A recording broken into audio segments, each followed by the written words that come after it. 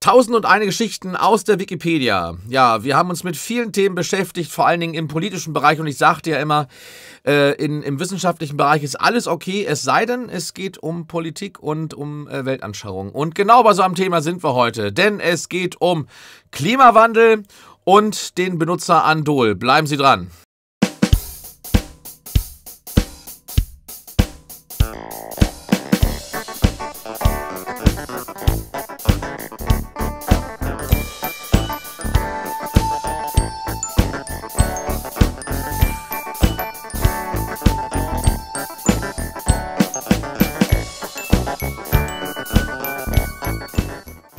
Herzlich willkommen zu einer neuen Sendung von Geschichten aus Wikihausen. Mit mir im Studio, im virtuellen Studio, wieder der super tolle Dirk Pohlmann. Hallo. Ja, ja, wird immer weiter, wenn das mal alles stimmt, ja. Also hallo auf jeden Fall nach äh, zum sonnigen Oldenburg. Stimmt das jetzt eigentlich? Also bei uns war es hier. Nein, nein, nein. Also, also, heute war hier wirklich äh, Regen. Ne? Also Echt? Es, äh, so, ja, so, so ein typisch norddeutsches Wetter war das. Ja, hier Berlin nicht. Das war wunderbar. Es war ein wunderschöner Altweiber-Sommertag. Immens heiß. Ja. Okay, aber. Ja, siehst du. Und da sind wir auch schon beim Thema. Genau. genau. Ähm, und äh, ähm, ich habe mir gedacht, also für diese Sendung musst du dich gut vorbereiten. Und ich habe mich gut vorbereitet. Und zwar in Form von Literatur. Und zwar habe ich mir ganz viele Bücher geholt. Zum Beispiel heißt das hier Klimawandel von Bettina Klopf. Da, einmal gucken. So, hier hinstellen. Dann haben wir hier El Gore, äh, Mission Klima, also Mission mhm. Klima, mhm. da für dich, Pirk. Ne? Also, aber auch so. Und es hört nicht auf. Äh, Klima-Countdown. 11.59 Uhr steht hier drauf. Also das ist schon Von wirklich. 11? Äh, von, äh, also erstmal vom BUND und von Marc Engelhardt mhm. und Markus Steigenberger. Hier, so, bitteschön. Ja, äh, und äh, Klimawandel, was stimmt? Die wichtigsten Antworten von Hartmut Grassel. Und du siehst schon, Dirk, äh, das Ganze äh, wird äh, dramatischer. Wir sehen hier das schon. Das ist eine äh, Live-Schaltung aus von meinem Konto von der Sparkasse. Ach, so viel hast du? Das wusste ich gar nicht. Ja, und äh, es hört natürlich nicht auf. Also, ähm, wenn schon, dann äh, muss es also mindestens die große Flut sein von Jörg Kachelmann. Okay. Und, ist das der? Ähm, ja, ist er ja, ja wohl der, ne? Der ja, natürlich ist das der, der Kachelmann, genau, richtig. Ja, ähm, also wir sehen, äh, diese Sendung läuft äh, äh, mindestens unter dem Hashtag Wir werden alle sterben. Ähm, ja, und äh, damit dran. übergebe ich an.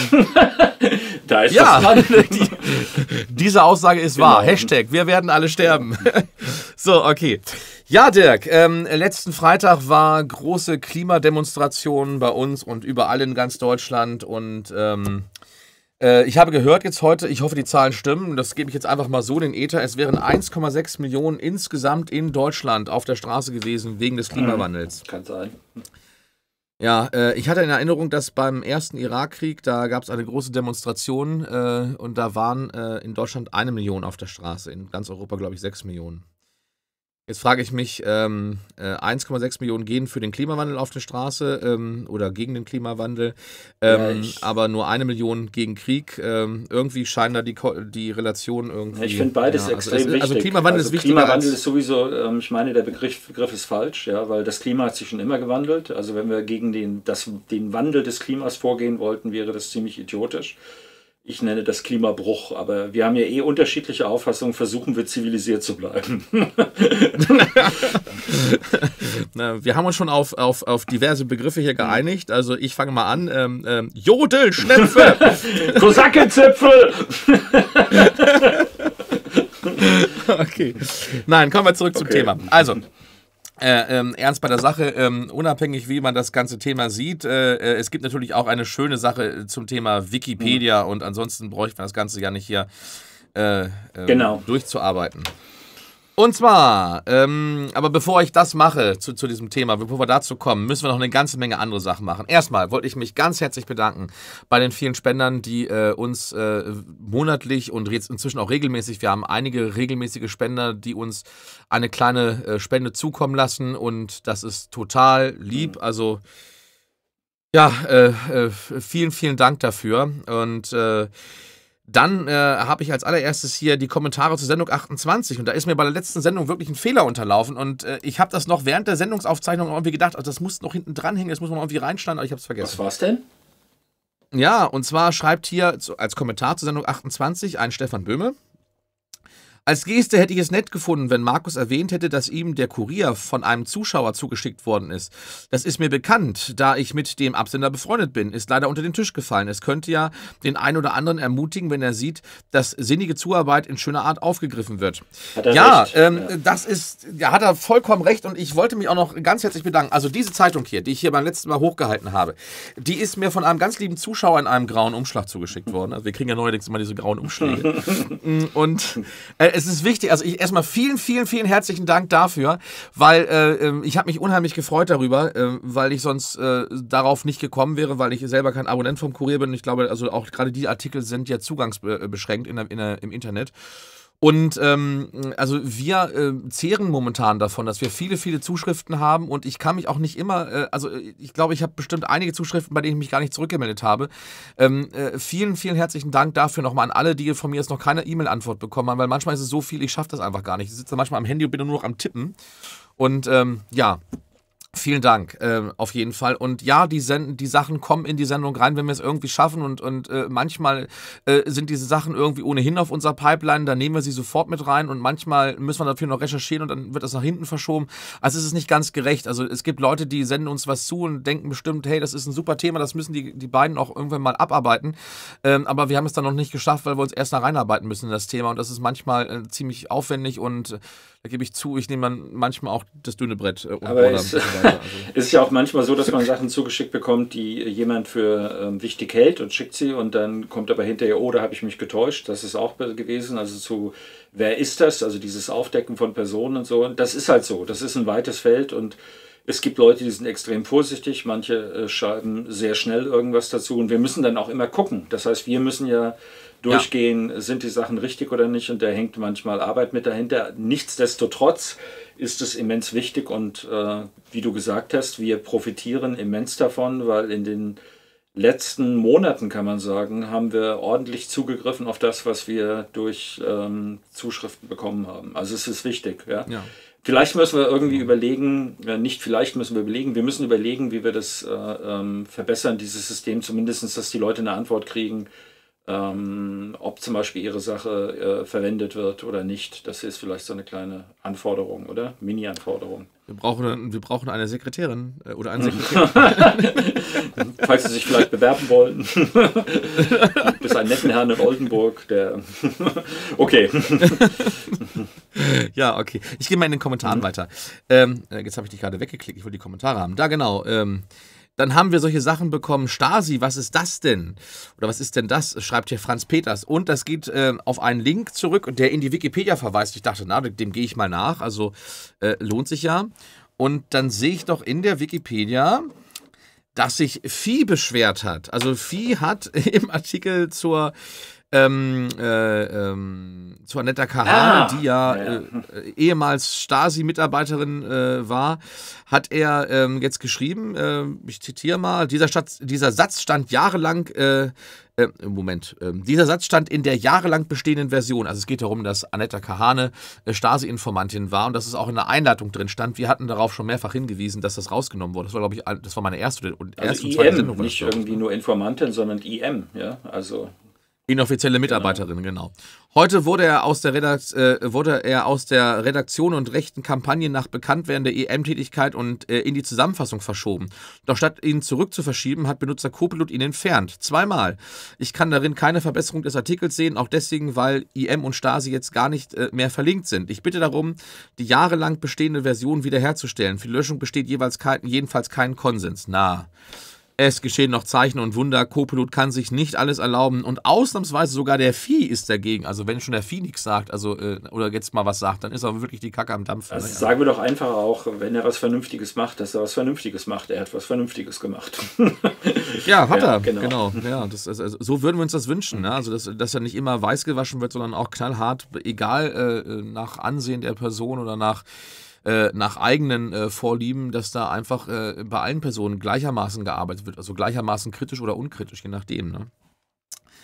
So, ähm, ja, dann hat, äh, hat uns jemand äh, geschrieben, der sagt, sein Name ist nicht von Bedeutung. Mhm. Habe gerade dieses hier äh, vom 30.01.2014 gefunden und äh, war euch das schon bekannt? Das Ganze ging demnach schon los, bevor ihr euch damit befasst habt. Könnte der Barbier dort, also der, der die äh, und so weiter. Also es geht auf eine ähm, Reportage vom Mittagsmagazin zurück. Und das findet man tatsächlich noch auf, äh, auf YouTube, weil das jemand hochgeladen hat. Und hier ist jetzt die, die Abbildung mit nebst Link. Äh, das ist eine kurze Reportage von 2 Minuten 17. Da geht es auch wieder um PR in der Wikipedia äh, und das Mittagsmagazin hat das damals ausgestrahlt. Ja, äh, klar, wir waren nicht die Ersten. Wir sind, glaube ich, ich hatte nur das Glück, dass über KenFM jetzt mein Film so eine große Verbreitung gefunden hat, der erste Film, dass da jetzt eine größere Öffentlichkeit besteht, als es damals bestanden hat. Weil nee, ich glaube, war schon ähm, deutlich tiefgehender und gründlicher dein Film als das hier ist. Ja, das ist ja. hier ein Einzelfall mit, oder nicht einzeln, ein Einzelthema also äh, Einpflegen von PR-Inhalten und das äh, geht ja nicht auf die Struktur von Wikipedia, auf die Hierarchie, äh, auf die Art und Weise, wie die Leute ähm, rausgemobbt worden, ist das nicht eingegangen. Also stell mal dein Licht nicht unter den Scheffel. Ja. Naja, naja, ja. Vielen Dank. so, ähm, Automaten-Jürgen schreibt: Mord an Herrhausen. Wer hat die Technik äh, der Libanon-Bombe vom 22.11.89 kopiert? Mhm. Die CIA hat sich angeblich nach dem Anschlag in Beirut ein Exemplar besorgt. Zwischen beiden Attentaten liegen acht Tage. Das geht an dich, ja. Dirk. Ähm, hast du da Informationen? Ja, dazu habe ich Informationen. Ich habe äh, Informationen zu der Bombe und auch die sind relativ überraschend. Dazu werde ich jetzt aber noch nichts sagen. Ähm, ich ähm, ich kann es so sagen, ich könnte jetzt eine bauen. Es ist nicht so schwierig. Wie jetzt? Ja. Jetzt ist mir gerade das Buch abhangekommen. ich ich habe hab übrigens noch ein ganz wichtiges Buch vergessen. Ich habe hier oben statt äh, ähm, äh, der, ähm, was war das? Äh, Chemistry of Powder and Explosives, habe ich jetzt hier stehen Klaus Kleber, Spielball Erde. Ist auch ein ganz wichtiges Buch. Also Klaus Kleber muss man immer wahrnehmen. Mhm. Vor allen Dingen äh, die Leute, die uns gucken, werden wahrscheinlich bei, bei, bei Klaus Kleber direkt äh, Liebesgefühle entwickeln. Zu ihrer Schrotflinte vielleicht. also, so, okay. Ja, ja also, also, äh, also, du kannst das jetzt. Äh, äh, wie, wie, also ich habe mich ja nie dafür interessiert, weil auch meine, meine fünf Finger sind, sind mir lieb. Mhm. noch nicht mal für China Böller habe ich da was ja, versucht. Ich habe auch keine gebaut. Ich habe früher, habe ich, ähm, wir haben sozusagen selber Schwarzpulver und so hergestellt. Habt ihr das nicht als Junge, als Jungs? Jetzt sage ich das mal öffentlich, ich habe das ja schon mal erzählt. Also wir hatten mal in der Schule eine, eine äh, Sprengstoff lief, aber nur ein, lief aber nur ein einziges Mal. Wir hatten da jemanden, dessen Namen ich jetzt nicht sagen darf, ähm, weil ich nicht weiß, ob er das möchte. Also wir hatten jemanden, der hat schon seit Jahren immer so, so Modellraketen gebaut, weißt mhm. du? Also das, äh, der, der, lief in der Schule immer rum. Also damals gab es ja nichts mit Fernsteuerung und sowas. Das war wirklich so, er hat so Treibsitze gebaut und dann, dann hat er so ein Schwarzpulverstreibsatz wahrscheinlich war das und hat dann äh, gezündet, dann flog die Rakete hoch und kam dann am Fall schon wieder runter. Da hat die dann wieder neu bestückt und dann äh, flog sie wieder hoch und kam mhm. wieder runter. Also das ist so, ja, Modellfliegen für Anfänger sozusagen oder wie auch immer du das nennen möchtest. Also der hat auf jeden Fall sehr viel Ahnung von, ähm, von Sprengstoff oder zumindest von I bring them up, I don't care where they come down, said Werner von Braun. genau, und ähm, ja, ja, also der, der Gag ist, äh, äh um es vorwegzunehmen, dieserjenige, der damals äh, das in der Schule schon gemacht hat, also die Zeichen, äh, äh also werfen ihre Schatten voraus und er ist jetzt, äh, glaube ich, beim DLR. Ah, okay. Ja, ja, klar, ne, genau. Also, äh, um es kurz zu fassen, die Sprengstoff AG äh, lief nur einen Tag. Also, wir hatten, ich glaube, wir waren drei oder vier Gruppen, war das. Und die erste Gruppe, da kam, glaube ich, gar nichts. Also, wir haben das elektrisch gezündet vorne. Ne? Also, wir, hatten, wir, hatten, wir durften nur ganz kleine Häufchen machen. So. und, ich dachte, wir reden über Sprengstoff. Und, okay. Ja, genau. Und, und dann halt einwickeln, da muss da irgendwie dann ein, ein Knall rauskommen. Und bei uns war, glaube ich, so ein Pft, kam da raus, mehr war da nichts. Ne? Und dann die letzte Gruppe war halt von demjenigen, von dem ich eben gerade sprach. Und wir sind alle schon nach hinten gegangen, weil wir wussten, also, wenn der was bastelt, dann, dann funktioniert das. Mm, und dann äh, hat dann unser Lehrer gesagt, was ist denn los? Und wir gesagt, nee, äh, das ist die Bombe von, ne? Also, ach, was soll denn das? Ja, und äh, machen Sie wenigstens die, die, die Schutzscheibe hoch. hat er nicht gemacht. Er hat gezündet und danach haben alle Fenster gewackelt. Das hörte man von oben bis unten in, in der Schule. Also, das war ein mehrstöckiges Haus und äh, ja, das war der letzte Tag. Ne? Also, wie viel hat er denn da hergestellt? Das muss doch jemand gemerkt haben. Nein, nein, der, der wusste, der, der, hat, der hat also genau das gemacht, wie er machen sollte. Bloß er hat halt, äh, der hat ein Gespür, Gespür dafür gehabt, wie viel du da rumwickeln durftest, damit es richtig knallt und damit es auch noch knallt. Wenn, wenn du zu viel drum wickelst, dann ja. passiert ja nichts mehr. Ah, okay. Ja, also, also Polenböller, ja. äh, Ernie sozusagen. Okay, gut. Naja, also der, ist, der war da richtig gut drin. Ja, ja. Okay, ist ja heute alles verboten, man darf ja sowas gar nicht so Also nicht äh, danke für den Hinweis. Also das ist die Geschichte mit René Moawat, der ähm, acht Tage zuvor vor Herrhausen mit angeblich einer Bombe exakt der gleichen Bauart. Äh, dazu habe ich keine exakten Daten gefunden. Es gibt ganz verschiedene Angaben zum Maß des Sprengstoffs, aber ich kann sagen, die Bombe wird ein tragender Teil meines Buches. Ja, ähm, und ich habe dazu eine Menge rausgekriegt und auch das ist ganz anders, als man es erwartet. Wie gesagt, ich könnte die Bombe bauen. Also du hast es irgendwie so mit, äh, mit, mit Theorie und Bomben, ne? Also erstmal Israel und die Bombe und dann jetzt, jetzt die Bombe und, Ja, und Libanon genau. und, also irgendwie. Äh, wie war das? Äh, Pamela Anderson und die Bombe, ja. Das erinnert mich dann eher an, äh, äh, an so ein Lied, das hieß dann, glaube ich, Sex, davon, davon spreche ich, ja. Ja, ja, okay, ja. also jetzt werden wir mal wieder ernsthaft. Kommen wir zurück zum Klima. Kennt, kennt die junge Generation gar nicht mehr, es ist ja alles vorbei. So, okay, ähm, wo waren wir stehen geblieben? Ja, ähm, zu vorgelesen, letzte äh, Zuschrift äh, von Ja, ja, Kollegen. ja. naja, genau. Und jetzt äh, bin ich wieder bei den Kommentaren und zwar schreibt hier jemand, äh, der letzte Film wäre zu lang gewesen, äh, er ist bei zwölf Minuten und wann geht's denn endlich los? Hüpft thematisch rum, machen wir jetzt auch gerade. ja, äh, die letzte Sendung war sehr lang, geben wir zu und äh, ähm, habe ich auf dem Schirm, diesmal wird's Okay. kürzer. Also wir werden das jetzt äh, stringenter schneiden. So, ähm, äh, das gleiche kommt dann nochmal. Ähm, also das, es gab ein paar Kritikpunkte, die gesagt haben, also die, die Sendung war zu lang. Ähm, das, also hier ist zum Beispiel jemand, äh, äh, Right Oak, äh, der, der schreibt sowohl Lob als auch Tadel. Also er fand das mit dem YouTube, dass wir das äh, erwähnt haben, ganz gut, aber wie gesagt, der Sendungszuschnitt wäre ihm zu, ähm, zu langwierig gewesen. Und da schreibt hier jemand, Dirk scheint etwas müde zu sein. Könnte an der Uhrzeit liegen, ja, ja, also. hm. ja, wenn, wenn die wüssten, wann wir aufgezeichnet haben. Wie, wie war das denn? Das war wir um 0 Uhr rum und wir konnten beide schon Genau. nicht mehr richtig. Du warst am Gehen die ganze Zeit und zwischendurch und ich konnte das eigentlich alles rausschneiden, die ganzen Gene. Und bei mir war auch irgendwann auch der, der, äh, der die Luft raus, ne? Ja, ja, okay. Wir werden es diesmal Mhm. besser machen. Genau, dann habe ich was gesehen, äh, das ist auch auf einen, auf einen äh, Zuruf von einem Zuschauer gekommen. Äh, also die Volkshochschule Frankfurt beschäftigt sich jetzt mit Wikipedia und das ist ein Carsten Ratzke. Der ähm, äh, bietet Wikipedia-Kurse an und natürlich äh, äh, ja, ein Lob nach dem anderen. Nicht? Und wir zeigen das hier mal. Äh, also auf jeden Fall, wenn Sie in Frankfurt wohnen und da gerne bei der VHS äh, einen Kurs machen wollen, können Sie jetzt dahin gehen. Und ähm, ich vermute mal, äh, dass Sie dann lernen werden, wie Sie ganz einfach Sachen auf Wikipedia einbauen können. Ist ja von der Technik her auch nicht schlecht. Äh, nur äh, von uns die Vorwarnung, falls Sie vorhaben, sich da im politischen Bereich zu betätigen, dann würde ich sagen, äh, lassen Sie diesen Kurs, können Sie lieber irgendwie ein Eis essen gehen oder sowas, haben Sie die Zeit sinnvoller verwendet. Ja, vielleicht geht ja Äh, jemand hin und kann uns was drüber berichten. Wäre auch interessant. Ja. Ja, also ich, äh, ich kenne diesen Carsten Ratzke nicht. Dass der Nee, an und für sich Schirm ist es ja gut gedacht, aber die Leute werden scheitern an der großen Betonmauer äh, der Wikipedia. Ja, Okay. So, ja, und dann gab es einen äh, Artikel in der Frankfurter Allgemeinen und zwar. Ähm, wieso lachst du denn? Erzähl doch mal. Ja, ähm, Lob und Hudel. Lob und Hudel, wie kommst du denn darauf? Zeig's. Ja, ich zeig's ja schon. Also Frankfurter Allgemeine. Äh, Jimmy Wales war einer der Gründer von Wikipedia und hat damals das Wissen der Menschheit kollektiviert und das Internet geprägt wie wenige andere. Er steht für die gute Seite des Internets. Genau. Ja. Ja, wie, wie, also wir fragen uns ja immer, wie kann sowas denn zustande kommen, nicht? Und dann, äh, ja, dann, dann sieht man halt, also solche Absätze in dem Textabschnitt, ich muss es einfach mal vorlesen, ist einfach zu Mhm. schön hier, rechte Seite einfach mal schauen. Die gute Seite des Internets. Jörg, äh, äh, Dirk, lehn dich zurück ähm, und äh, Ja, mach ein ja. bisschen André Rieu dazu. Das ist ein bisschen mehr Schmalz. Ja. Okay. Hast du eine Geige da? Die nasse Geige kommt. Jüngst Gut. Genau. Jüngst erschienen Berichte über Wikipedia, die Sorgen machten. Das dort gesammelte Wissen veralte, schrieb die FAS. Andere, wie etwa äh, ZDF-Moderator Jan Böhmermann, monierten, dass schon vor allem Männer Artikel verfassten.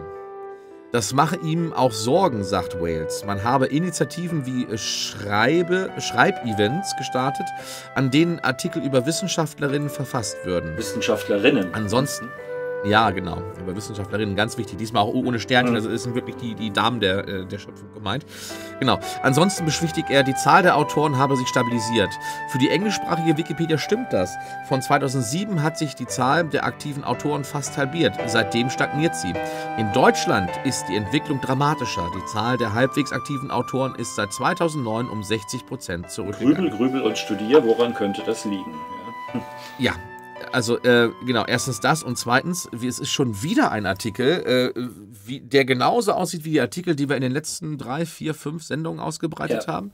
Und Grübel, Grübel und Studier, ähm, wie kann das sein, dass alle, alle Autoren, äh, die ähm, im Zeitungsmarkt arbeiten, haben dieselben Floskeln, bringen dieselben Punkte an, es kommt keine eigene Idee, es kommt immer nur das gleiche, das Einheitsgeschwätz. Mhm.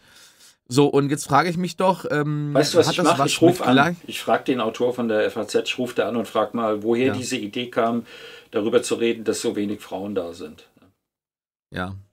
Und äh, äh, genau. Und vor allen Dingen äh, die Frage ist, ist das hier eine Gleichschaltung? Äh, ich würde sagen, jetzt reicht es mir langsam. Natürlich ist es eine Gleichschaltung. Ja? Das, nee, ich gehe davon aus, dass dieses Thema von Wikipedia installiert wird und nicht von den Journalisten.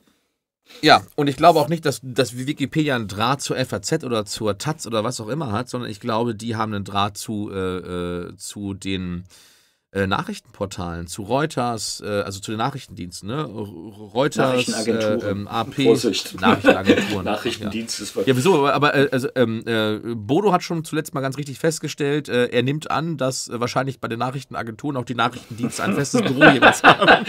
Das ist ganz nett gesagt. Aber ich meine, das ist tatsächlich auffällig und wir, ähm, ich frage einfach mal nach. Anstelle, dass wir darüber mutmaßen, frage ich ihn, ja. den Autor, wie er darauf gekommen ist, wenn er mit mir redet. Ja. Genau.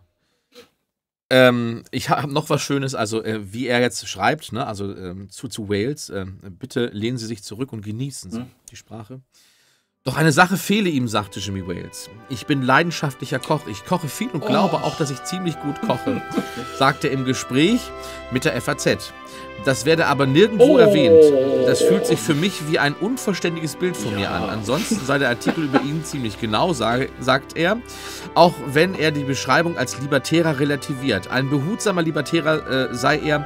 Eigentlich stehe er politisch in der Mitte, doch, dies, äh, doch diese sei ein bisschen verloren zurzeit angesichts der Beliebtheit radikaler Ideen. Also Libertäre gibt es in links und rechts. Noam Chomsky ist ein Linkslibertäre. Ähm, Rechtslibertäre gibt es auch. Die sind dann für die völlige Freiheit des Marktes. Ja, das ist kein Begriff, der irgendwie ähm, sozusagen an dieser Stelle sich einordnen lässt. Und politisch in der Mitte als Libertäre, das wüsste ich jetzt allerdings nicht, wie das zu meinen ist, außer dass er unbedingt in die Mitte will, damit er ähm, sich irgendwie gut ein äh, äh, sozusagen umgeben fühlt. Das ist keine. Aber ich meine, diese Sache mit dem Koch, sorry, das ist doch. Äh, sind wir jetzt bei der Bunten oder was, ja? Home Story Jimmy Wales, ja. Chinesische Ente. Ja. Ähm, ein Mann, dem man nicht glaubt, dass er bei all der Arbeit, die er leistet, auch noch so eine leckere Ente zubereiten kann. Bullshit, ja. Ja. Bitte? Ja. Bullshit à la Sichuan-Style, okay. ja, also Bullshit süß sauer, meinst du, ja? das ist genau.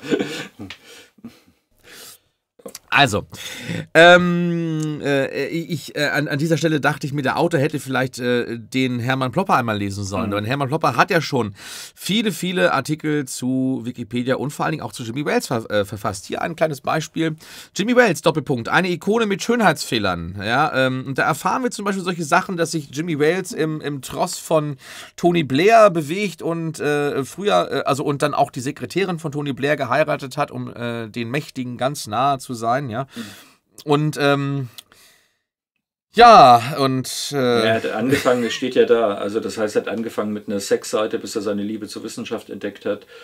Und ähm, das war ja die Sache mit dem äh, Spezial-Wikipedia für, was war es, Kasachstan, glaube ich, gell?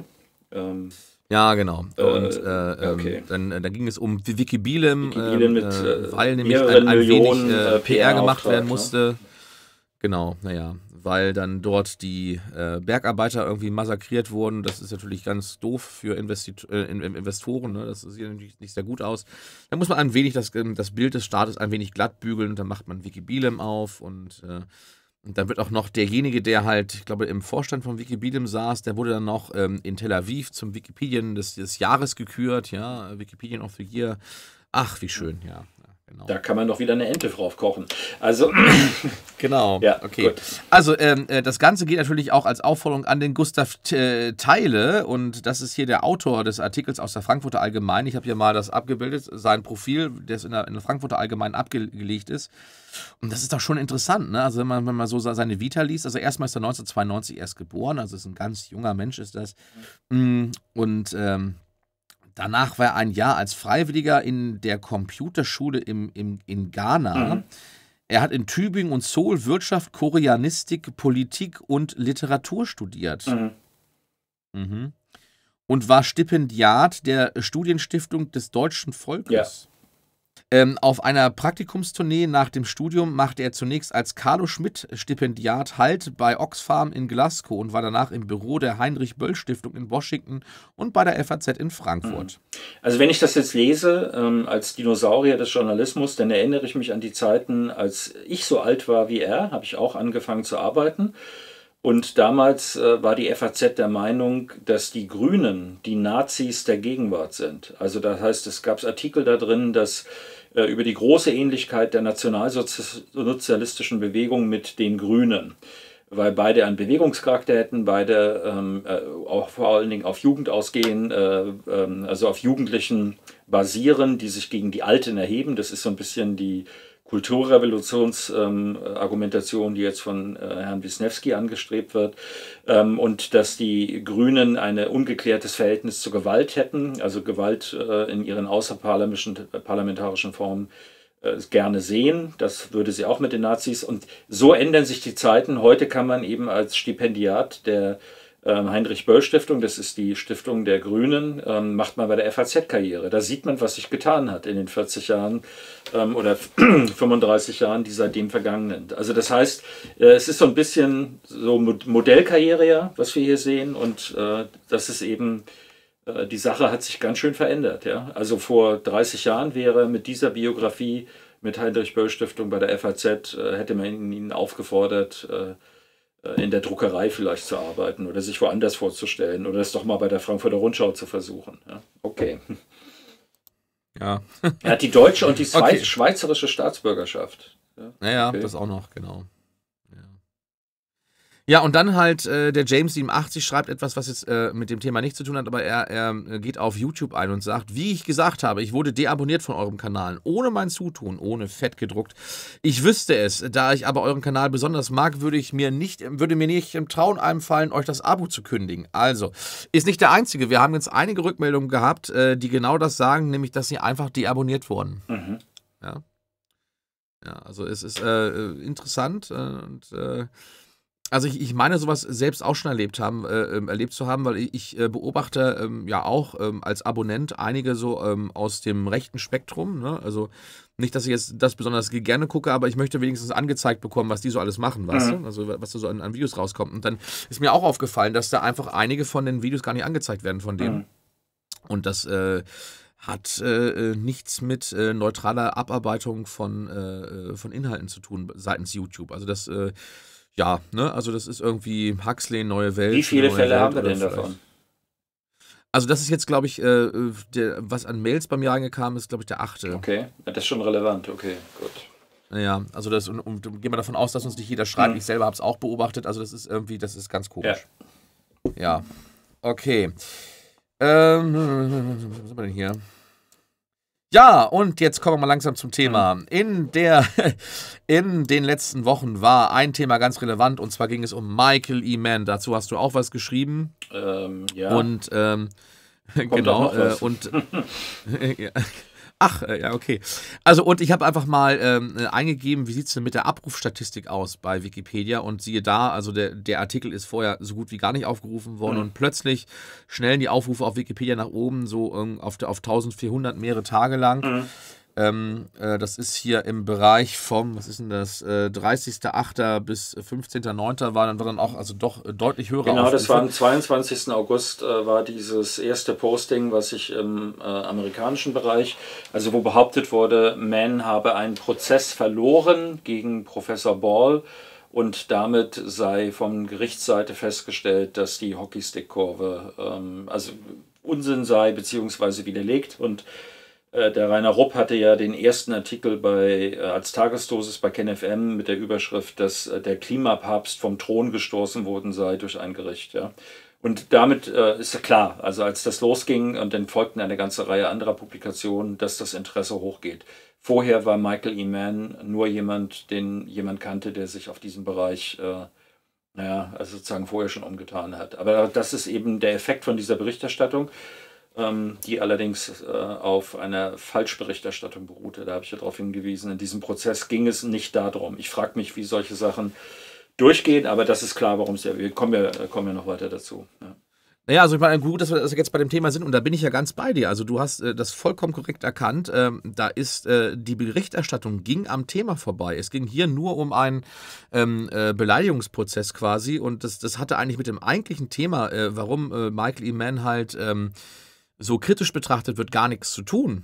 Ja, das wurde die Beleidigung schon, schon aber, aber äh, nur indirekt. Ja, also ja? es ging um ein, äh, noch um ein äh, Libel, also das heißt, die, äh, bei uns ist das ja, wird äh, darüber geurteilt, ob eine Tatsachenbehauptung richtig oder falsch ist und ob es, äh, ob es Schmähkritik ist, also sozusagen herabwürdigende Kritik. Und genau. das ist im Englischen, muss noch nachgewiesen werden, dass quasi ein Reputationsschaden eingetreten ist. Und Darum ging es ähm, in diesem Verfahren. Es ging in keiner Weise, was ist richtig von diesen Sachen. Also der Richter hat nicht darüber geurteilt, wer Recht hat in irgendeiner Weise und dieser Prozess ist auch nicht von jemand gewonnen oder verloren worden. Er ist einfach beendet worden wegen Untätigkeit, wegen verschiedener Sachen, weil äh, Professor Ball hatte vier Zeugen angegeben, von denen waren drei bereits verstorben. Einer war nicht mehr vernehmungsfähig. Äh, Mann hatte die Sache schleifen lassen. Er war an äh, ja. zwei Aspekten war über, hat er über viele Monate, ich glaube einmal über ein Jahr. Also das Ganze zog sich hin und der Richter sagte, das steht jetzt immer über dem Professor Ball als Damoklesschwert. Und außerdem haben die beiden, äh, er hat gesagt, der eine hat vier Ordner, also Man, der andere ein Ordner mit wissenschaftlichem Krempel eingereicht. Das ist nicht das Thema dieses Verfahrens. So ist das aber dargestellt worden in diesen rechten Alternativmedien und hat sozusagen, der war genervt. Wenn man das Urteil sieht, sagt er so, äh, jetzt mal Schluss, ja. Also äh, sozusagen, wenn ihr äh, nicht auf die, in die Pötte kommt, dann ist an dieser Stelle Ende. Es hat übrigens ein, ein weiteres Verfahren in den USA gegeben, das Michael Mann jetzt auch ein Beleidigungsverfahren, was er gewonnen hat. Auch bei diesem Verfahren war es so, dass äh, mehrere Beteiligte waren. Eine Gruppe war eine äh, Frontier Foundation, die haben sich mit einer Entschuldigung bei Mann aus der Sache rausgezogen. Aber insgesamt ist das, äh, wie soll ich sagen, also der, das Verfahren ist, äh, äh, der Ball hatte gesagt, dass äh, Mann nicht in die Penn State University, ein Wortspiel, sondern in State Penn, also in das Gefängnis des Staates gehört. Und das war ein Kernpunkt, aber er hat noch 24 andere Sachen, äh, Beleidigungen dazu gesagt. Aber das ist ähnlich, ich sag mal, ihr habt das vielleicht einige mitgekriegt, Renate Künast gab es ja ähm, sozusagen aberwitzige Sachen, die im Rahmen der Meinungsfreiheit über sie äh, gesagt werden dürfen. Und so war das, das auch bei diesem Prozess. Ich habe die, ich habe sehr viele Akten dazu gelesen. Ich habe mir das besorgt, ja. Und äh, da geht es ganz viel, geht es darum, äh, ähm, sozusagen, äh, was, äh, das ist genau das Gleiche. Und das sozusagen die Meinungsfreiheit steht sehr hoch und äh, diese Debatte wird nicht auf richtig, ähm, richtig oder falsch. Und der Richter hat auch definitiv in einem Satz glasklar gesagt, es geht nicht darum, aus meiner Sicht, also aus der juristischen Sicht, hier festzulegen, wer von den beiden Recht hat, sondern es ging darum, ist es Beleidigung. Und er war dieses Prozesses, er hat, war genervt. So kann man das zusammenfassen. Ja. Also ich fand schade, dass es eigentlich am Thema vorbeiging, denn warum kam denn halt diese Beleidigung von äh, Tim Ball zustande? Und äh, das ist eigentlich auch der Grund, warum ich hatte jetzt ja schon zwischenzeitlich schon ein ähm, äh, RT-Interview gemacht und äh, ähm, bin ja nur mal so andeutungsweise darauf eingegangen. Da, da, müssen wir auch noch mal eine Sendung zu machen. Also ich will es auch nur hier ganz kurz einreißen. Hm, ich beobachte halt, dass das mit Daten nicht sauber umgegangen wird. Und das ist in diesem Falle ähm, naja, also dieser, dieser Hockeystick, da sind mehrere Sachen, aber eine Sache ist zum Beispiel äh, relativ offensichtlich, und die wird ja auch gar nicht abgestritten. Ähm, äh, diese Baumringdaten, die da ähm, aus Proxys erwirtschaftet wurden, da, ne? Und also die Temperaturdaten, die sich am Ende daraus ergeben, sind halt nicht ganz verlässlich äh, und aus mehreren Gründen nicht. Und äh, das Problem war halt, dass die Baumringdaten am Ende nach 1960 steil abwärts gehen, ne? ich glaube ein halbes Grad abwärts. Und ähm, äh, ja. Ja, ja, also das, das, war, das war ziemlich deutlich abwärts und er hat dann einfach diese Daten weggeschnitten und hat äh, die Daten durch äh, Temperaturmessung einer Luft ersetzt. Und ähm, äh, das halte ich für nicht statthaft. Er hat das zwar in seiner eigenen Arbeit geschrieben, hier, wir haben die Daten ersetzt durch andere Daten, er hat das also auch erwähnt. Und es ist auch so, wenn man sich das Original durchliest, äh, ist, würde man sagen, ja, hm, Vielleicht geht das noch durch. Also ich würde sagen, es geht nicht durch, weil also es, ähm, äh, ich möchte schon sehen, äh, wie sahen die alten Daten aus. Und er kann dann gerne noch eine Vergleichskurve mit der Temperatur oben drüber setzen. Aber ich möchte sehen, was, was wurden an Daten erwirtschaftet. Also dass einfach Daten weggelassen werden, ist auch nicht die feine englische Art. Und äh, bloß das Problem ist dann, wenn man das dann weiterliest, ne, und das heißt also, die Daten, äh, die Kurven, äh, hast du, hast du zwei Datensätze, die ineinander übergehen in der Kurve. Das wird im Original noch gekennzeichnet und dann wird das plötzlich vereinfacht und dann hast du irgendwie nur noch eine Kurve. Mhm und aus der nicht mehr ersichtlich ist, dass die aus zwei verschiedenen Datensätzen gewonnen wurde. Und dann geht das noch weiter, das kommt dann in Schulbücher oder in, äh, in Zeitungen und dann ähm, da wird das so grob vereinfacht und dann werden halt aus diesen zwei zusammengefügten Datensätzen Rückschlüsse gezogen, die so nicht statthaft sind. Es sind nicht nur zwei Datensätze. Es ist so, ähm, um das zu erläutern, es sind, ja, viel, es sind diese sogenannten Proxy-Daten. Also das heißt, wir ja. haben ja Temperaturmessungen erst so, sag ich mal, dicker Daumen 1850, 1800, ja. Äh, verschieden, je nachdem, wo man rangeht, geht zum Teil. Aber sagen wir mal so 1850 als, als Fixpunkt, das ist jetzt nicht akkurat. Und man will aber ja natürlich auch die Temperaturdaten von davor haben und dafür hat man äh, sozusagen Proxys heißt, man hat Ersatzdaten. Man hat zum Beispiel ähm, die äh, Eisbohr, also die Eiskerndaten von Bohrungen, die zum Teil in der Antarktis oder auf Grönland sehr tief gehen im Festlandeis hat man ja 3000 Meter ähm, Eisdicke. Also das heißt, da kommt man bis 800.000 Jahre zurück. Ähm, ja, hängt davon ab, wie die Schichtungen sind. Also du hast bei Vostok, ich weiß es auswendig, 3700, da kommst du unten an, mhm. beim, also beim Lake, beim See, ne? mhm. ne? 3700 Meter sogar, damit, da kommst du aber nur 450.000 Jahre in die Vergangenheit. Dann gibt es diesen Dom ja, C, ja. Da, da kommst du 800.000 Jahre in die Vergangenheit. Die haben halt, also das hängt davon ab, wie, äh, wie das Eis geschichtet ist. Es ist ja noch eine wissenschaftliche Ich rede einfach, ich, als ich in Grönland war, ich war, habe ja bei, bei einer Expedition in Grönland und da war das, haben sie uns gesagt, okay, das ist eine Schüssel, am Rand haben wir Gestein, in der Mitte ist Eis und dieses Eis ist, das wurde so drei Kilometer dick. Das war für die, für die eine. Mhm. Aber das ist auch, worum es geht, ist, man hat so Daten, man hat zum Beispiel Stalagmiten, Stalaktiten, also das heißt, man hat Sediment, äh, wo man Sachen, man hat Baumringe, man hat verschiedene und bei den Baumringen, das habe ich mir angeguckt, werden wir übrigens auch in unserer Klimasondersendung im dritten Jahrtausend zeigen. Da ist es so, dass die Baumringe, man kann also, wenn es warm und feucht ist, äh, werden die dicker, als wenn es kalt und äh, ähm, und trocken ist. Ähm, und man kann anhand, daraus kann man eben Rückschlüsse ziehen, genauso wie man in Europa hat man jede Menge von Chroniken oder auch Gemälde. Ja? Also wenn die Leute geschrieben haben, äh, sozusagen diese äh, kleine Eiszeit, äh, das kann man in der Malerei der Holländer kann man das sogar sehen. Also das sind so, man hat, also man nimmt, was man kriegen kann, um das zu machen. Und äh, Mann hatte das gemacht und warum diese Daten, diese, es gibt eine Pflanze, eine Pinie, also eine Kiefer, die bis zu 6000 Jahre alt wird. Und die wird gerne genommen, weil man halt weit zurückkam. Aber man hat mittlerweile festgestellt, seit ungefähr 1960, also seit, äh, das war damals saurer Regen, Umweltverschmutzung, ähm, gingen die Temperaturdaten, die man vorher, also 1850 bis 1960, laufen die schön parallel. Da kann man sagen, okay, Baumring funktioniert. Und dann stürzen die Baumdaten ab. Das heißt, die, äh, die Bäume sind geschwächt und kriegen kein Wachstum mehr. Und das sieht aus wie Temperatur geht runter. Deswegen wurde das rausgenommen. Und dann wurde aber aus diesem Thema, der, wie zuverlässig sind die Baumringdaten, wurde ein eigener kleiner Forschungszweig. Da sind einige Daten draufgekommen. Es ist aber richtig, was Markus sagt. Allerdings ist das dein Argument. Also die, die Kritik an Man war größtenteils in der äh, sozusagen in nicht, äh, die war verschieden, aber die, das ging weniger darum, dass die äh, diese Daten, also sauber wäre, man würde jeden Proxy in der verschiedenen Farbe oder verschiedenen Art und Weise, dass man sieht, das ist das und dann die Mittelung nochmal ja. zeigen. Ja, und das ist. Ja, also, ähm, ähm, also ich muss nicht, äh, das wäre jetzt sozusagen, äh, das wären ja Aliquots, die dann gemacht mhm. worden wären. Also ich muss nicht jeden Aliquot in, in, in, der Kurve sehen, das sehe ich auch bei den, bei den Eisbohrkerndaten nicht. Ähm, da, da, sehe ich nur eine Temperatur pro Schicht sozusagen. Ne? Oder ähm, ein. Ja, oder die sind ähm, gemittelt auch, die, die sind auf 20 Jahre gemittelt. Also das heißt, man nimmt nicht die ganzen Zacken und man hat hat eben, was auch bei dem Hockeystick wirklich wichtig ist, man hat eine ungeheuer breite Fehlermarge. Je weiter man zurückgeht, umso breiter ja. wird die. Ja. also, er, also es ist auch stark vereinfacht. Also in, in, ich wollte darauf hinaus, also in, ähm, da, da, differ, da divergieren unsere Meinungen. Also gerade in der Vergangenheit äh, bildet die Hockeystick-Kurve eben nicht ähm, die Temperaturdaten genau ab. Ich finde, äh, die Eisbohrkerndaten sind um Vielfaches genauer an der Stelle. Und ähm, äh, ja, und äh, also es ist so, dass ähm, also äh, Baumringe, also äh, Baumwachstum ist eben halt nicht äh, monokausal auf Temperatur und auf Wasser zurückzuführen, sondern da ist auch noch äh, vor allen Dingen Stickstoffeintrag. Äh, wie hoch ist Alles der? Mögliche. Übrigens auch CO2. Also deswegen nimmt man ja nicht ja, genau. Eine, und übrigens auch CO2. Also und dann sagst du sauer Regen natürlich auch. Ähm, und dann ist auch die Frage die, der Belichtung, ja nicht unerheblich. Ne? Also ja, aber das ist eben, und das sind auch, das sind wieder Regionalwetter. Also man hat das Problem, man muss, wenn man Baumringdaten ja. nimmt, muss man von verschiedenen Regionen das haben, weil das sehr, sehr unterschiedlich ist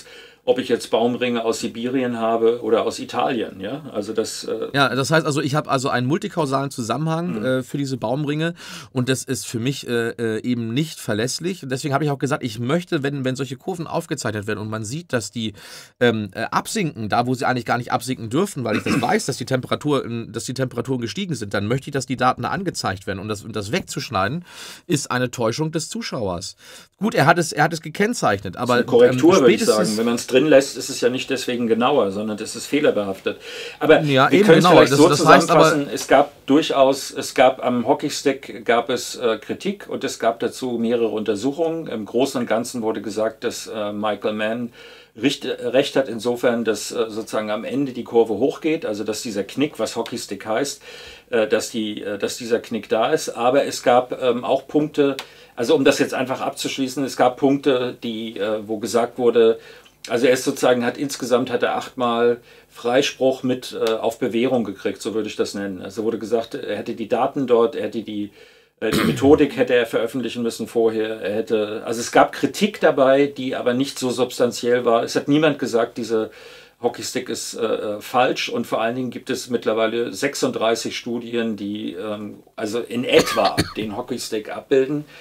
Also es ist keine Sache, die, die widerlegt wurde durch die Wissenschaft. Es ist nicht Michael Mann und dann wurde er hinterher widerlegt, sondern ähm, sozusagen die meisten gehen in diese Richtung. Aber, also was Markus sagt, ist auf jeden Fall wenn man jetzt, äh, könnte man, also ich meine, soweit ich weiß, hat er es auch in seiner Arbeit gemacht, ja, dass er das äh, gekennzeichnet hat. Er hat es geschrieben. Er hat geschrieben, seit, seit 61 haben wir andere Daten verwendet. Das genau, Daten. und dann. Also er hat es gekennzeichnet.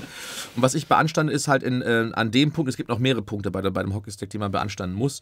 Ähm, aber bei dem Punkt. Aber werden wir äh, vielleicht jetzt nicht zu spezifisch, Markus? Nee, machen wir nicht heute. Ja. Das, schaffen wir alles gar nicht. Aber ähm, nur an dem Punkt geht es halt nicht auf Michael Mann, sondern halt dieser Prozess, ähm, Originalarbeit, vereinfachende Originalarbeit und dann erscheint das irgendwann in den Medien das ist am Ende, ähm, kommt dann eine ganz äh, äh knallharte Täuschung des, des Zuschauers raus. Das darf man so nicht machen.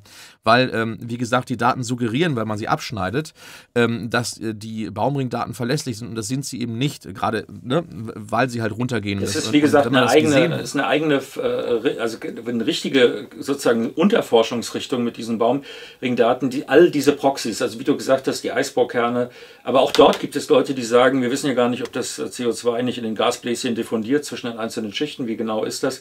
Also wir sind da bekannt. eben in einem Bereich, also, der nicht mehr genau ist. Ja, ja mit Proxy-Daten ist man Aber da bist du jetzt genau. beim anderen Thema. Also okay. ähm, äh, die Eisbohrkerndaten bezüglich des CO2s, da ist das, da ist, äh, haben wir eine ganz starke Diffusion über mehrere Meter sogar durch das Eis. Ähm, aber die Sauerstoffdaten, also dieses, äh, dieses o, O16, O18, O18 ne? also die Isotopen. Äh, genau, O16, O18-Verhältnis. Ähm, also das Isotopenverhältnis vom Sauerstoff, das ist doch sehr genau und das, und das Sauerstoff ist ja dann halt im kristallinen Wasser ein, ich eingeschlossen. Glaub, wir werden das kann man sehr genau bestimmen. Also ich glaube, das ja, das, das, schon nur so als Andeutung. Mhm. Ne? Also ähm, da müssen wir noch mal ran. Also ich äh, würde das auch gerne machen. Es ist ja auch ganz interessant, dass wir beide uns da irgendwie ähm, auch in die Haare kriegen können. Mhm. Ähm, wie war das nochmal? Äh, Jodelschnepfe!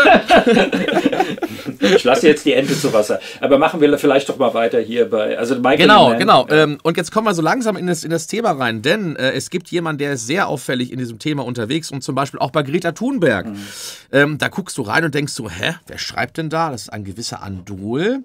Und der hat bei, äh, der hat bei, bei Greta Thunberg, hat er doch, äh, na, jetzt, jetzt, bist du mir hier im Wege, dein Bild, hat er doch schon mal immerhin 22,9 Prozent geschrieben. So, und dann ist natürlich die Frage, wer ist denn dieser Andol? Mhm. Und äh, dann sieht man auf seiner Homepage, ähm, dass er äh, ja, deutscher Muttersprachler ist. Der beherrscht Englisch, Latein, Italienisch, was auch immer. Mhm. Und der, der interessiert sich für Energieversorgung, erneuerbare Energien, Windenergie, globale Erwärmung und Leugnung der menschgemachten globalen Erwärmung. Mhm. Da kommen wir noch zu. Ähm, ja, und er ist und was in der gesamten Berichterstattung, die bisher gelaufen ist, weggelassen wurde, mhm. auch übrigens beim RT-Interview, da war ich eigentlich, äh, das fand ich schade, dass es weggelassen haben. Er ist Skeptiker. Mhm. So, was sind die Skeptiker? ja, fast uh, rewind uh, zu deinem ersten Film, also die. Ähm, Zweiter ja, Film. Mach du's. Zweiter Film. Also ich mache, genau. okay. Ja, äh, also wer sind die Skeptiker? Ganz klarer Fall, die Skeptiker ist eine Wissenschaftssekte und wenn Scientology nicht schon äh, irgendwie anderweitig belegt wäre, wäre das genau der richtige Ausdruck für die Jungs und äh, also Stimmt. das ist irgendwie... Stimmt. Ja, genau. ja klar. Okay. Das, äh, das, ist klar. Also es, äh, das, sind, das sind Leute, die meinen, sie hätten den Stein der Weisen in Sachen Wissenschaft gefunden und äh, das, was sie glauben, vertreten sie sehr dogmatisch äh, und setzen das äh, ähm, gegen andere Meinungen äh, sehr ähm, robust durch. Ja. ja und genauso handelt dieser Benutzer Andol in der Wikipedia. Also man kann vielleicht auch noch sagen, die Skeptiker sind also ähm, strikt materialistisch. Also das heißt, sie haben eine äh, bestimmte ähm, sehr enge Definition davon, was Wissenschaft ist und jetzt, äh, was zum Beispiel ähm, jeder Arzt, mit dem man redet, wird im Laufe eines langen Lebens feststellen, dass da manchmal Sachen passieren, äh, die etwas merkwürdig sind. Und es gibt viele, viele von den Sachen, die in der Medizin äh, ähm, behandelt werden, sind gar nicht wissenschaftlich, sondern sind einfach aus Tradition. Aber die sind da sehr dogmatisch, also sozusagen nicht, äh, nichts von dem, was irgendwie ungewöhnlich ist, darf auch nur reinkommen und darf diskutiert werden. Ja? Also wir haben ja gerade, wissen ja vielleicht einige, dass ich äh, das, den Bereich äh, mit den UFOs bearbeite. Das ist für die äh, absolut äh, nicht äh, akzeptabel. Wir haben jetzt aber gerade wir haben in den USA, das geht ja gerade durch die Medien, jetzt auch in Deutschland, dass die amerikanische Marine offiziell zugegeben hat, dass äh, drei von den Videos, die da sind, tatsächlich von ihnen sind, dass da was ist und sie können es nicht erklären. Darüber hinaus kann man auch kaum gehen.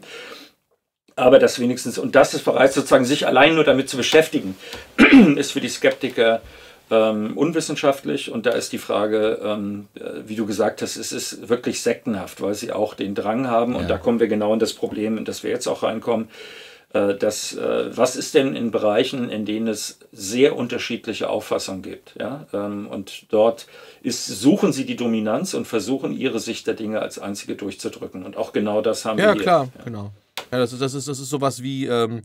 So orthodoxes Wissen halt durchzupauken. Ja. Also, oder äh, wie, wie hieß das bei, bei, bei der Kirche irgendwie? Ähm, das ist also so der, der ähm, also die kanonischen Werke festzulegen. Ja. Ja, genau. Ja. Ne? Also darum geht es bei denen.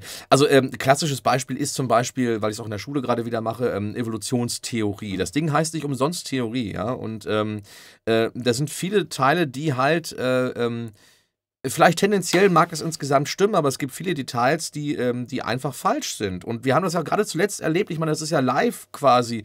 Wann war das? 2012 oder 2013 war das, ja? Ähm, dann wurde mal eben, äh, vorher wurde gesagt, Homo sapiens ist 200.000 Jahre alt. Mhm. Und dann plötzlich haben sie einen Fund gehabt und mussten dann umdatieren und dann, seitdem ist er 500.000 Jahre mhm. alt. Hey, was sind schon 100 Prozent, 150 Prozent verschätzt unter Freunden, ja? Also, was soll das, ja? Mal so eben, zack, 300.000 Jahre mehr, kann ja mal passieren. Ja, das ist aber keine Widerlegung der Evolutionstheorie, ne? Nee, aber, aber äh, äh, an solchen Daten merkst du halt, wie, wie, ist, äh, wie genau, unsicher die ganze Sache das ist. Das ist ne? ja äh, Denis Solmensch oder sowas jetzt. Also du, du, siehst ja ständig, da wird nachjustiert, aber ich weise auf was hin, was tatsächlich ähm, äh, ein Riesenthema war. Und das ist äh, ähm, das Glenn Margulis, also eine Biologin, die nachweisen konnte. Und mittlerweile ist das auch Teil der Biologie, hat aber 30 Jahre gedauert, also der herrschenden Ansichten der Biologie das war halt äh, ähm, nicht zuletzt deswegen, weil es auch eine Frau, die darauf gekommen ist, die gezeigt hat, dass in der Evolution es nicht nur quasi mit Ellenbogen zugeht, also nicht nur Konkurrenz, sondern auch Kooperation gibt. Und zwar gerade am Anfang bei den Einzellern. Ich, das, das gibt es im Buch äh, von Margulis, äh, die, wie heißt das? Ähm, ich weiß es jetzt gar nicht auswendig. Das ist auf jeden Fall ähm, super interessant. Ja, bei, bei, äh, und, genau, bei mir läuft das un unter horizontalem Gentransfer. Also alles, was so mit Endosymbiontentheorie zu tun hat. Äh, das glaube ich jetzt wieder schon wieder zu spezifisch, Markus. Ja. ja. Aber auf jeden Fall, ähm, also das heißt, das, was ich, äh, was ich sagte, ähm, es gibt in der Evolution auch Kooperation. Das war neu. Es wurde immer sozusagen nach dem Motto, der Stärkere setzt sich durch, ja, oder der besser angepasste. Nein, nein, nein, der besser, da muss ich aber verbessern. Ja, der besser, das besser angepasste setzt sich durch. Aber die, sozusagen die genau. Standardvariante, die die Leute im Kopf haben, ist dieser Stärkere. Das ist dann Sozialdarwinismus in, in diese Richtung geht das dann auch. Aber es, es gibt ja Ich glaube, im Englischen ist es auch gar nicht, ist es auch gar nicht so, so eindeutig. Ne? The fittest, uh, Survival of the fittest uh, ist, glaube ich, bei denen mehrdeutig. Ne? Also fit ja. kann sowohl stärker als auch, als auch best, best angepasst sein. Best angepasst. Ein gutes Beispiel dafür ist immer, um das mal zu erläutern, was damit gemeint ist. Es gibt, äh, ich glaube, bei den Galapagos-Inseln ist das, gibt es eine Insel, die äh, ständig mit starkem Wind zu tun hat und dort gibt es Fliegen, die keine Flügel haben. Weil alle Fliegel, die einen Flügel haben, werden weggeweht und verenden im Meer und nur die, die keine Flügel haben, überleben. Und dann ist the fittest ist Fliegen ohne Flügel. Da muss man sich mal reinziehen. Ja? Ein gutes Beispiel, dass das äh, ganz anders aussehen kann als nicht die größte und stärkste Fliege. Im Gegenteil, die kleinste mit den ohne Flügel kommt durch. Ja? Und wahrscheinlich mit den, äh, mit den besten Haftorganen genau, äh, an den Füßen, damit es besser am besten festkrallen kann, na klar. Ja, ja, klar. Also, ähm, genau. Also in, bei den Schülern erkläre ich es immer vereinfacht, so dass man sagen kann, okay, also wenn sie äh, sich mit der NS-Zeit beschäftigen und mit dem Sozialdarwinismus auch im angloamerikanischen Raum, dann sagen sie Überleben des Stärkeren. Ja. Und wenn sie sich mit Biologie beschäftigen, dann sagen sie Überleben des Bestangepassten. Genau oder ähm, eigentlich ist noch nicht mal das Überleben, sondern es geht ja darum, dass sich die Gene durchsetzen. Also dass die, best an, dass die Bestangepassten die besten Chancen haben, ihre, Gene an die Tochtergeneration mhm. weiterzugeben. Ja, gut, okay. Also Skeptikerbewegung, ganz klar. Äh, das nur so als äh, nebenbei. So, und ähm, äh, ja, er ist Sichter. Also eigentlich hat er als, als, als Sichter keine großen Rechte. Also er kann halt seine eigenen Sachen da se selbstständig einstellen, ohne dass ja jemand drauf guckt. Er ist auch, äh, was das Schreiben anbelangt, jetzt nicht so eine Kategorie wie Co-Pilot und Konsorten. Also, dass er unheimlich viel schreibt. Er ist ungefähr seit, äh, seit demselben Zeitraum aktiv wie Copilot, nämlich seit 2011. Also, der Benutzer Copilot war vorher schon als. als ähm, Jesus-Freund. Als Jesus-Freund aktiv, ich danke dir. Da hat er natürlich haufenweise Postings angesammelt. Aber in der Zeit, in der er jetzt Co-Pilot ist, hat er, ich habe bis jetzt, glaube ich, was war denn das? Also bis zu meinem ersten Film waren es knapp 50.000 Edits, jetzt muss er, glaube ich, bei 80.000 Edits sein. Mhm. Also er, macht also richtig viel Stoff. Mhm. Andol macht in derselben Zeit ungefähr 20.000 Edits. Aber hochspezifisch äh, eben, ne?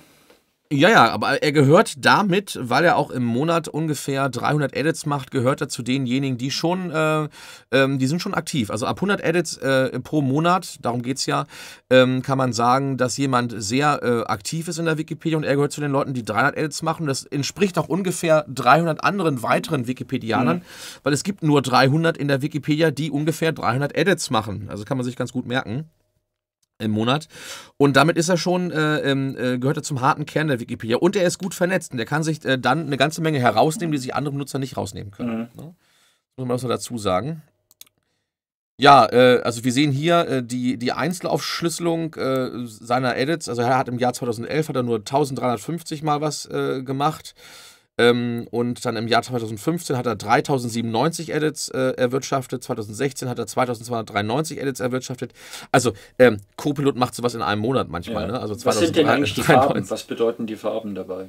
Ah, das sind, das sind die unterschiedlichen, äh, die unterschiedlichen Namensräume. Rot ist der, der Artikelnamensraum und frag mich jetzt bitte nicht, was grün, äh, mhm. lila und, und gelb und sowas bedeutet. Es ist dann halt, äh, Diskussion wird wahrscheinlich grün sein und äh, lila und blau wird dann irgendwie was okay. mit Wikipedia und Administratoren. Okay, das heißt, rot ist eigentlich das Interessanteste. Ne? Ja, ja, genau. Mhm.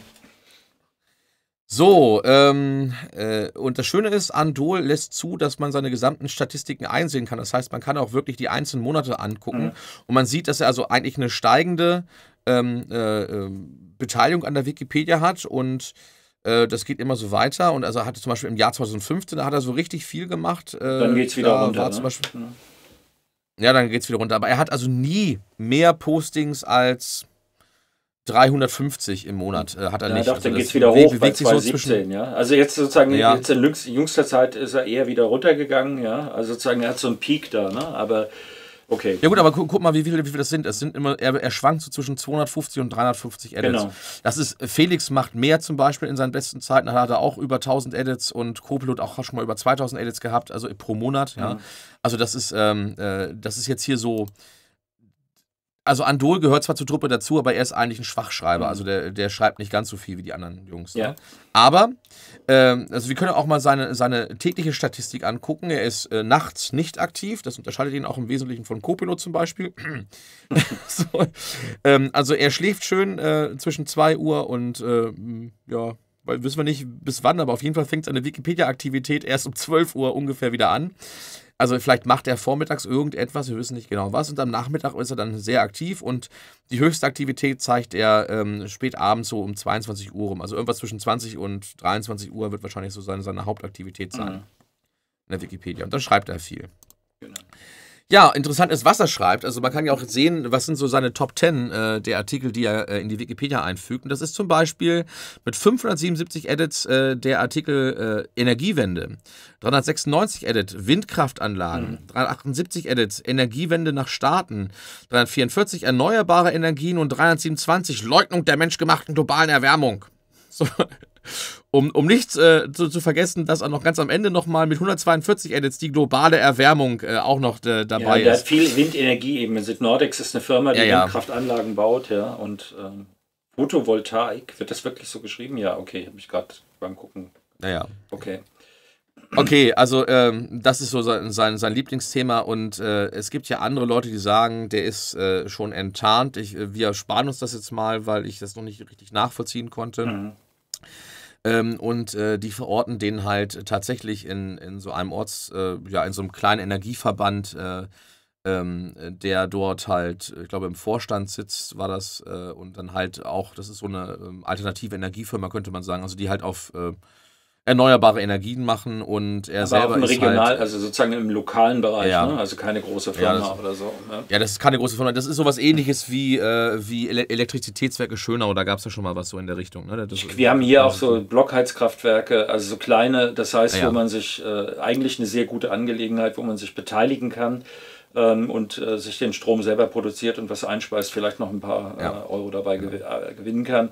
Aber ähm, es ist eben, äh, es ist so ein Fall von Vested Interest in gewisser Weise. Es müsste eigentlich angezeigt werden, dass man in dem Bereich aktiv ist. Ja, es ist jetzt kein kein Naja, also PR-Sprecher, das, aber da bin ich mir nicht ganz so sicher. Dass, also wir haben ja schon vor der Sendung davon darüber gesprochen und ich, hab, das- ich bin jetzt mit diesem Vested Interest ein bisschen schwanger gegangen. Mhm. Die letzten Tage. Und äh, ich bin mir nicht ganz so sicher. Also, ich meine, ich habe ja damals auch zu, zur FM-Synthese geschrieben in der Wikipedia. Und man, man sieht schon an einem Artikel, dass ich da durchaus enthusiastisch dabei bin. Mhm. Ja? Ähm, und die Frage ist jetzt, äh, wie behandle ich die anderen Sachen? Also, jetzt mal, um bei der FM-Synthese zu bleiben. Also, ich du sage, ja, mal erklären, was FM-Synthese. Ist. Ja, ach, das ist, ist, eine, ist eine Syntheseform von Synthesizern und Yamaha DX7, das war so der, der Synthesizer der 80er Jahre, der quasi für ein sämtliche anderen Firmen vom Markt verdrängt hat. ja, genau. Hatten die auch. Der Yamaha baut ja alles Mögliche. Okay, also äh, Yamaha DX7 FM Synthesizer war in den 80er Jahren der Synthesizer, der wie geschnitten Brot verkauft wurde. Und ähm, äh, Hintergrund war die FM-Synthese. Und äh, es gab natürlich noch andere Syntheseformen. Das, was man heute so hört in, in diesem Ele- Elektronikbereich, sind meistens so äh, analoge Syntheseformen. Also da wäre dann zum Beispiel die Firma Moog oder Moog. Ähm, äh, ja, und äh, die Frage ist halt, äh, um mal bei dem Beispiel zu bleiben, wie gehe ich mit den anderen, äh, wie gehe ich jetzt mit den anderen Themen um? Ja, also sa- sage ich zum Beispiel, Yamaha ist total toll, aber Moog ist total grottig, äh, so zum Beispiel. Oder Hammond ist total bäh und Yamaha ist total toll, weißt du, so in der Richtung. Würde ich übrigens nie sagen, ja. Als Musiker.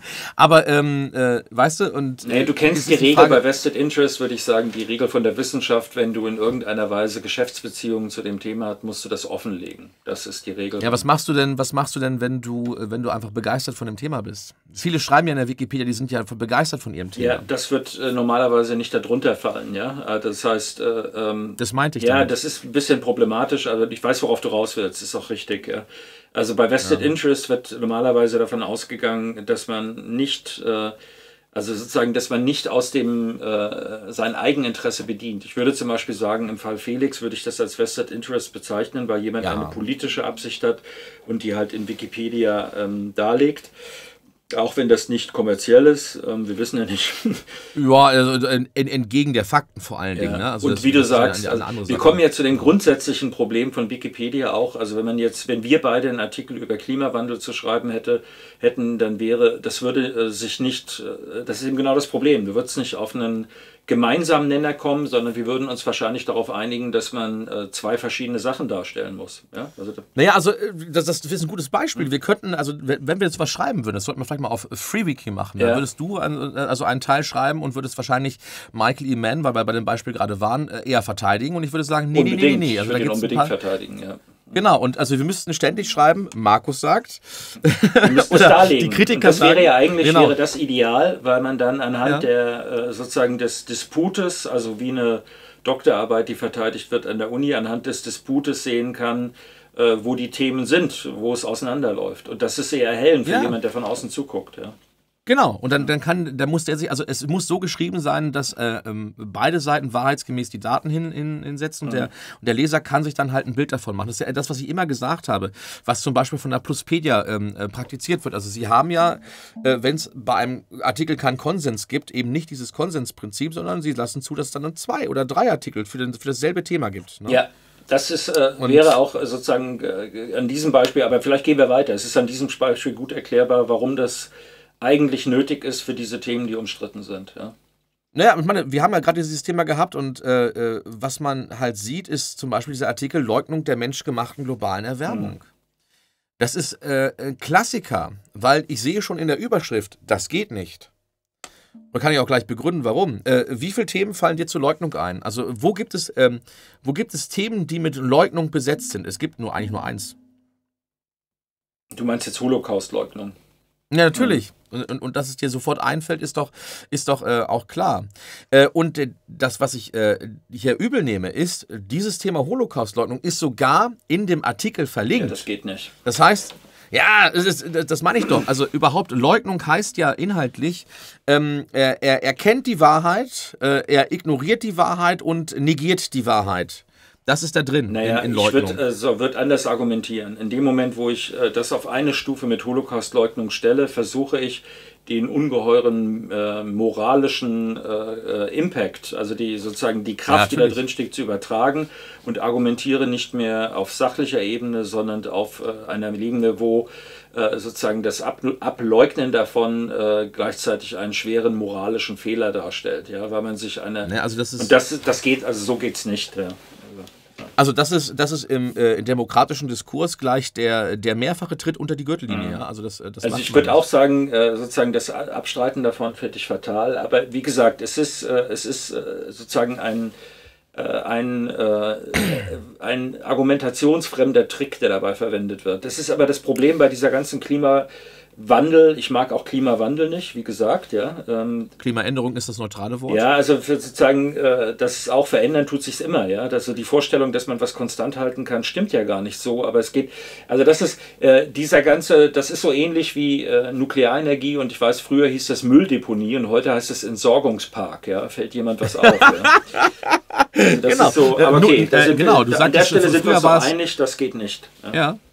Ja, das, das, das, ist, also das ist also diese begriffliche ähm, äh, Neuordnung. Ne? Du sagtest früher, weil du gerade beim Thema warst, nicht Kernenergie ist es heute. Das, äh, früher hieß das Atomkraft. Und Atomkraft war immer schon negativ belegt. Und Kernenergie dann haben war das, die, dann haben sie aus, die, du genau. konntest einen Begriff sehen, wo jemand herkam. Ja?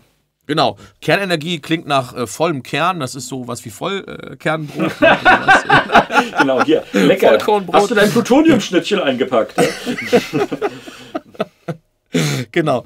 Also, Leugnung der menschgemachten globalen Erwärmung. Mhm. Ähm, und wir sehen hier, dass, also, ähm, äh, äh auch ich als Kritiker, ich würde niemals mir herausnehmen, äh, zu, zu, behaupten, dass äh, CO2 dann wirklich null Einfluss auf das Klima hätte oder dass der Mensch als Gesamtheit null Einfluss auf das Klima hätte. Die Frage ist halt immer, wie viel? Mhm.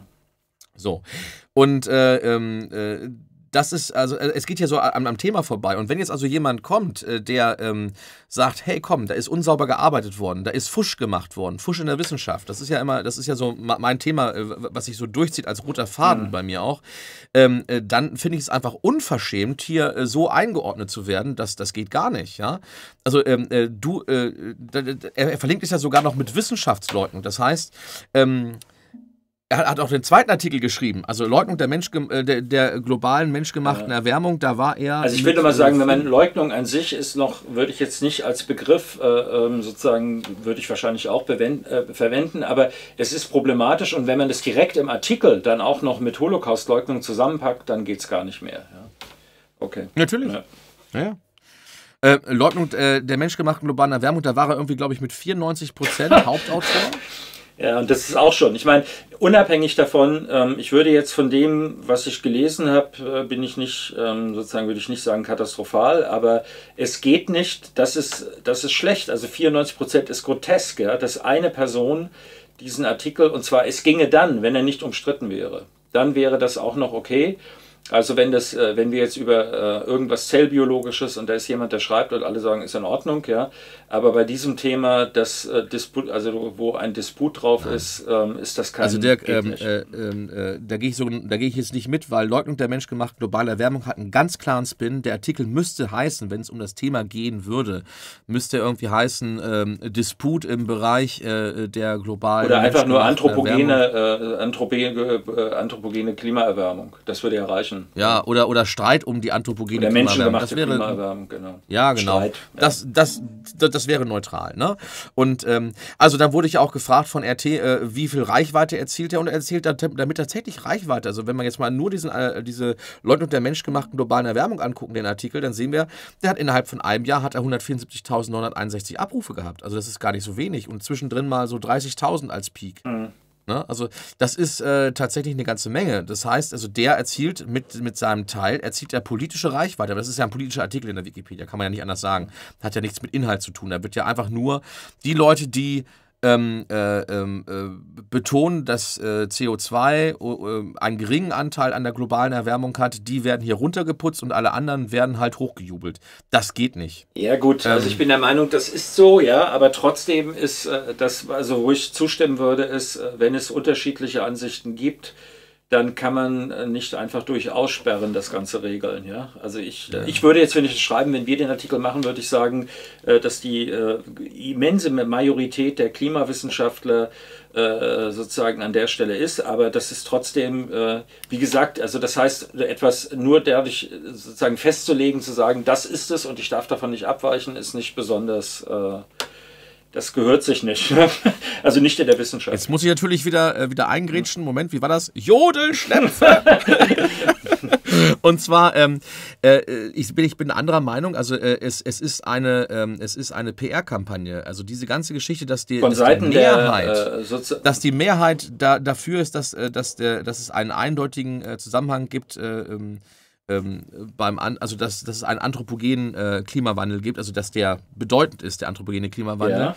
Ähm, das ist, nein, das, das, stimmt ja nicht. Also es, es, es, sind 97 von 30 Prozent. Ja, aber das also sind das, sieben Studien mittlerweile oder sind es noch mehr mittlerweile. Und das geht nicht nur um Personen, es wird also nicht eine, äh, eine Majorität von Personen abgefragt, sondern es ist zum Beispiel auch ähm, einfach. Das ist doch in den Nachrichten. Von den, das, das, von den, äh, von den Studien. Also das heißt, was ist aus den äh, Bekannten, es sind verschiedene Verfahren angewandt worden und das ist also das heißt, die Leute, die sich dagegen argumentieren, sind nicht die Cracks auf dem Gebiet und das sind nicht die Mehrheit der Wissenschaftler. Es gibt welche, aber... Das würde ich auch verneinen, Dirk. Also da, da, da kommen wir heute Abend nicht auf den Konsens. Okay, gut. Ja, ja.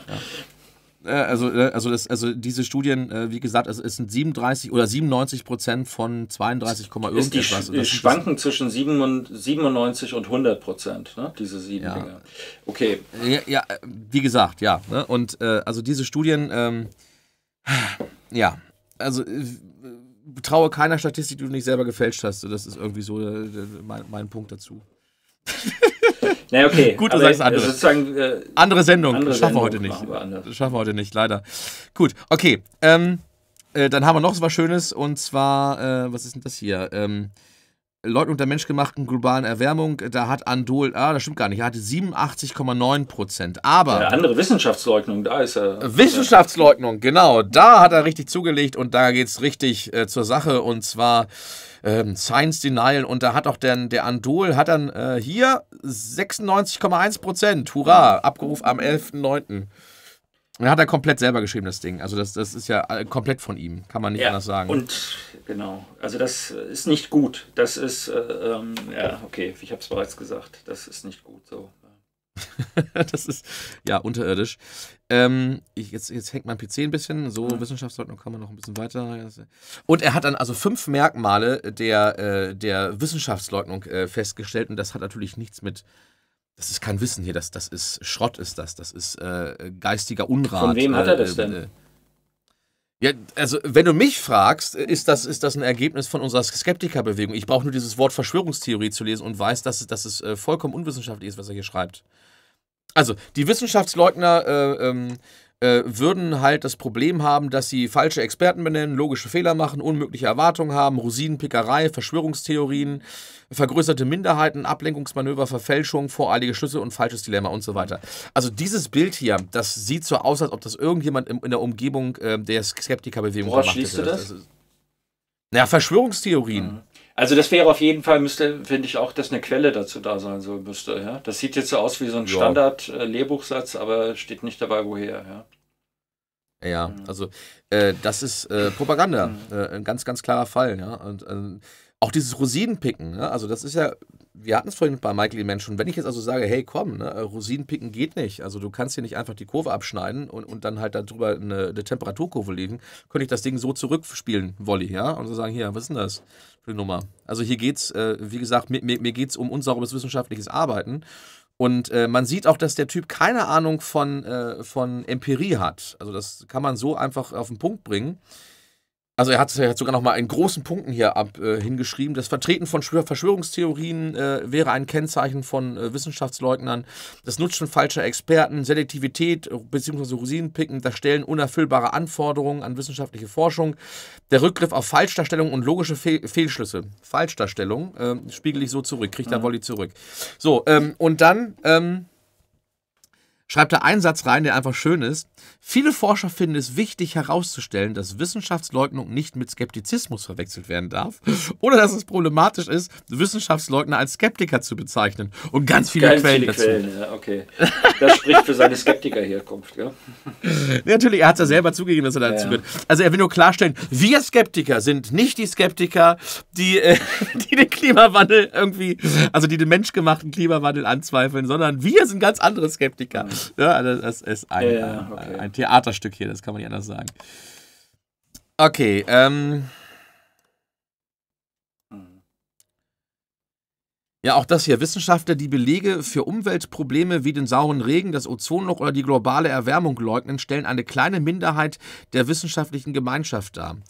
Das sind alles Sachen, die haben nichts mit einem wissenschaftlichen Artikel zu tun, also auch dieses Abstellen auf die Mehrheit der Wissenschaftler, sondern das, das ist einfach, ähm, das ist PR-Kampagne und äh, quasi im Wissen um das äh, Ash-Conformity-Experiment, kann man einfach, einfach sagen. Also hier geht es darum, klarzustellen, es ist die Mehrheit der Wissenschaftler, die irgendetwas sagt und deswegen ist das richtig.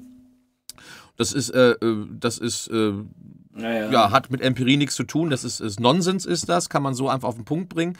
Hier geht es darum, dass die breite öffentliche äh, Masse, also die, die, Zuschauer, die sollen dazu gebracht werden, dem zuzustimmen. Weil, weil man ja weiß, dass sich der äh, Mensch äh, aufgrund seiner sozialen Herkunft, wir hatten gerade von Kooperation gesprochen vorhin natürlich, ne, dass der sich immer ähm, äh, anpasst an die Mehrheitsmeinung mit seiner eigenen Meinung. Es sei denn, er hat da wirklich eine, eine ganz starke Persönlichkeit und sagt, das mache ich jetzt ausnahmsweise mal nicht. Ne, ansonsten ja, ertasten wir immer. Ja, dass, dass also ich würde auch sagen, es gibt schon, es gibt einen wissenschaftlichen Konsens, wird ja von gesprochen. Ähm, also das heißt, wenn Wissenschaft als Prinzip funktioniert, dann gibt es, äh, kann es einen breiten Konsens geben und eine abweichende Meinung, aber das ist das Prinzip von Wissenschaft, dass man ermöglicht, dass äh, eine Theorie in Frage gestellt werden kann. Ich finde es schon wichtig, dass man sagt, wie die Verhältnisse sind, aber ähm, das sozusagen, das geht jetzt, ähm, es ist problematisch, weil der Erste, der eine Sache in Frage stellt, wird immer in der Minderheit sein. Ja? Also das ist eine Frage ja. der Logik dann. Ja, okay. Ja, okay, aber das, ähm, also ich meine, der Punkt, mein entscheidender Punkt, der mir nicht gefällt, ist 96,1 Prozent. Das ist einfach eine Scheißzahl, ja, für so eine Geschichte. Okay. Ja. Gut. Also, ähm, äh, also das mit dem wissenschaftlichen Konsens, ich meine, ähm, es gab einen schönen Artikel äh, bei äh, KenFM, ich glaube, das war, war, war eine Tagesdosis, kam auch jüngst. Aber das Dagmar Henn, die das geschrieben hat oder so? Ähm, ich will es jetzt eher nicht äh, in die Feder schreiben, aber sie hat also geschrieben ja von wegen wissenschaftlicher Konsens. Ne? Es war vor, also den Sündenfall hatten wir bereits, weil vor 100 Jahren war wissenschaftlicher Konsens, dass Euthanasie eine wunderbare Sache sei. Ja.